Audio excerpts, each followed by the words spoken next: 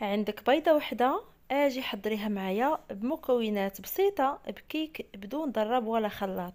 السلام عليكم. مرحبا بكم معايا فيديو جديد على قناة وصفانيت كنتمنى أنكم تكونوا في أحسن حال.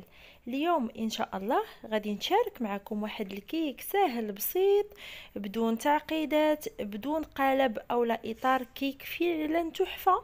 وغير بيضة واحدة بطريقة تزيين سهلة وبسيطة وفي متناول الجميع. على بركة الله اولا كنحتاجو الحبة وحدة من البيض قبصة من الملح كأس من السكر وكيسين سكر بنكهة الفانيلا سبعة غرام ونصف لكل كيس.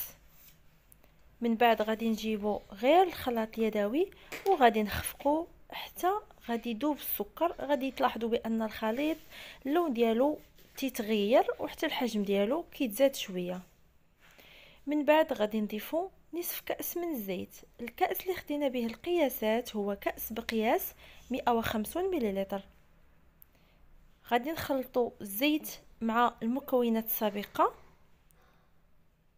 كنرجعو كنضيفو علبة من الياغورت أو الزبادي بنكهة الفانيلا الوزن ديالها هو 110 غرام وغادي ندخلوها في المكونات.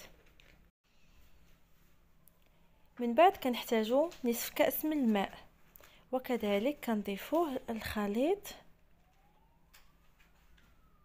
من بعد غادي نجيبو الكأس الأول من الدقيق غادي نضيفوه دائما في غربال غادي نضيفو ليه كيسين من خميرة الحلويات بيكين باودر 8 غرام لكل كيس يعني 16 غرام في المجموع. كنضيفو الخميرة الدقيق ونخلطوهم مع بعض وغادي نضيفو الكاكاو. عندنا كيسين ما يعادل ملعقتين كبار أو لا سبعة غرام لكل كيس يعني 14 غرام 14 غرام في المجموع. غادي نخلطو هاد النواشف مع بعضها وغادي نضيفوهم على دفعتين. نضيفو النصف الأول ونحركو نضيفو النصف الثاني. من بعد ما ضفنا داك الكأس الأول اللي معاه الخميرة والكاكاو غادي نجيو وغادي نضيفو الكأس الثاني وكذلك غادي نضيفوه غير بشوية بشوية. غادي نضيف النصف ديالو من بعد غادي نضيفو النصف الآخر. يعني في المجموع كنحتاجو كأسين من الدقيق ما بين كأس ونصف حتى الكأسين. لكن أنا راني عملت كأسين. من بعد غادي نجيبو صفيحة ديال الفرن مفروشة بورق الطبخ إلا ما عندكمش ورق الطبخ غادي غير دهنوها بالزيت وترشوها بالدقيق. راه نفس النتيجة. غادي نجي وغادي ندهنها بواحد الرشة من الزيت وغادي نفرغوا الكيك ديالنا. آه بالنسبة إلى عملتو بدون ورق فضروري أنكم غادي تدهنوا وترشوه بالدقيق باش ما يلتصق لكمش مع الصفيحه غادي نجي وغادي نحاولوا أننا نوزعوا الخليط ونقادوا ليه الوجه ديالو وندخلوه الفرن. أنا غندخلو الفرن بارد من قبل.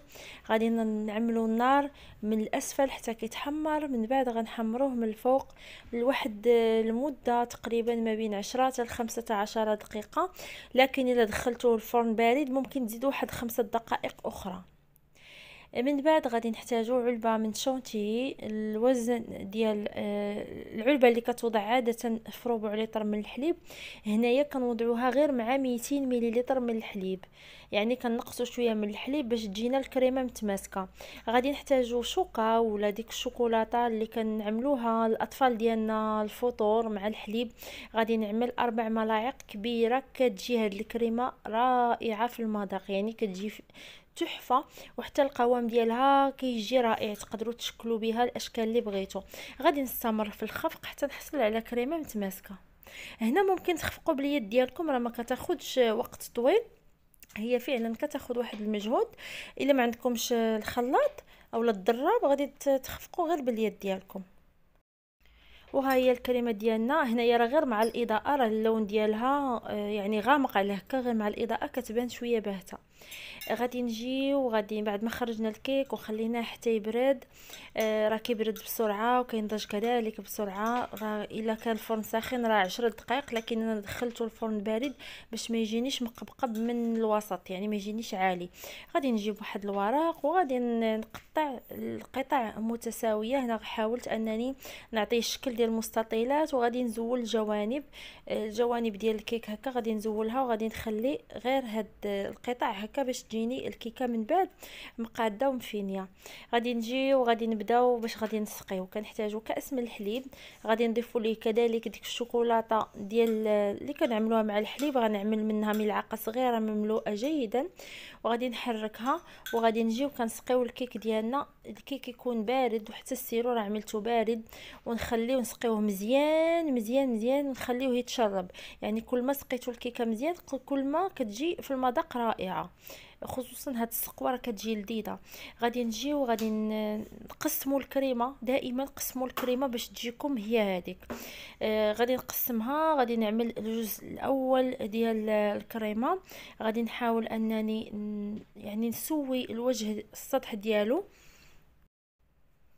ومن بعد ما سوينا وقادينا كنجيبوا القطعة الثانية كذلك كنقادوها وغادي نسقيوها جيدا بهذاك السقوة اللي حضرنا اللي هي الحليب والشوكولاتة ديال الحليب. من بعد غادي نجيو وغادي نعملوا الكمية الثانية ديال الكريمة وكذلك بنفس الطريقة غادي نحاولوا نقادوها. وهنايا وضعت القطعة الثالثة والأخيرة وغادي نسقيها وغادي نجيب الجزء الثالث من الكريمة. وكنجيو كنحاولوا أننا نغلفوا الكيك من الجوانب وكذلك كنغلفوه حتى من الوجه. شفتوا معايا الكريمة كيفاش كتجي آه، متماسكة. أه وما نسيت ما قلت لكمش بأن دائما الحليب وديك العلبة ديال الشونتيي راه كنوضعهم في المجمد. دابا مثلا الا بغيت نخدم بعلبة ديال الشونتيي كنخليها في المجمد ووقت ما احتاجيتها هكا كنجبدها.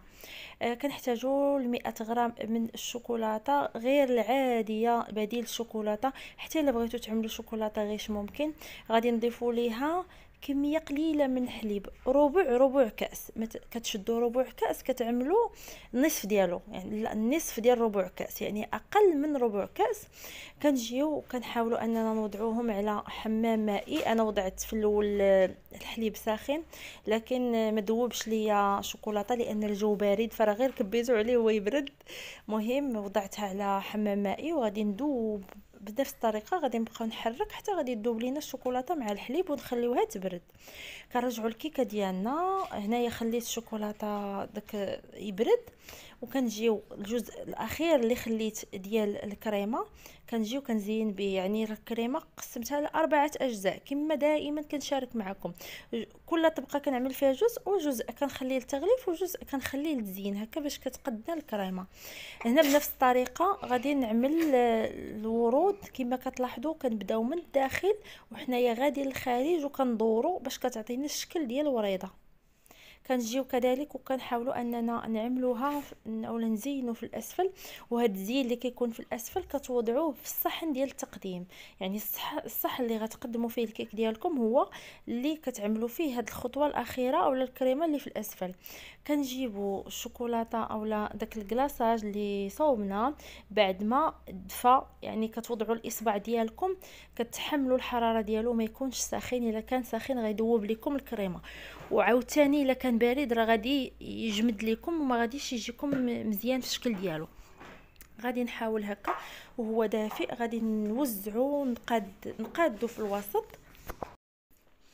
وجزء منه خليته وعملته في واحد بلاستيك وكنحاول أننا ننزلوه على شكل دموع على هذا الشكل من الجوانب ديال الكيك بربعة بيهم. هنايا خديت شوكولاته عملتها في قالب الخاص بالشوكولاته. أنا عملت ولا اختاريت هذا الشكل على شكل وريضات.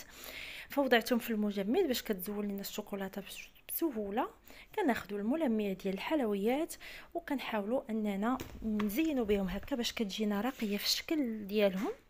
آه، بنفس الطريقة غادي نزين هذوك الورود. عملت أنا ثلاثة ديال الورود. من بعد غادي نوضعوهم هكا في الجوانب. كما شفتوا معايا تزيين بسيط سهل وفي المتناول. أنا عاودت عاودت لهم الترتيب. إذا على هذا الشكل. ثم غادي نجيبو العقيق الخاص بالحلويات. هنايا راه بناتي اللي بغاو يوضعوه. يعني اللمسة الأخيرة كانت من يدهم. آه خديت هاد العقيقات اللي كيتباعوا عند باعه لوازم حلويات. أنا راه غادي نوريها لكم دابا. غادي تشوفوهم معايا. هانتوما يعني كتاخذوه بالعبار. هو اللي خديته وعملته في وسط هاد الوريده وعطى الشكل راقي صراحة. غادي نجيبو كذلك نفس العقيق هو كيتباع كاين حجم صغير حجم متوسط حجم كبير. فكنحاول أنني نوضع الأحجام بالكامل وكيكون هذا هو الشكل النهائي ديال الكيك ديالنا. كيجي رائع وراقي. أنا راه احتفظت به في المجمد.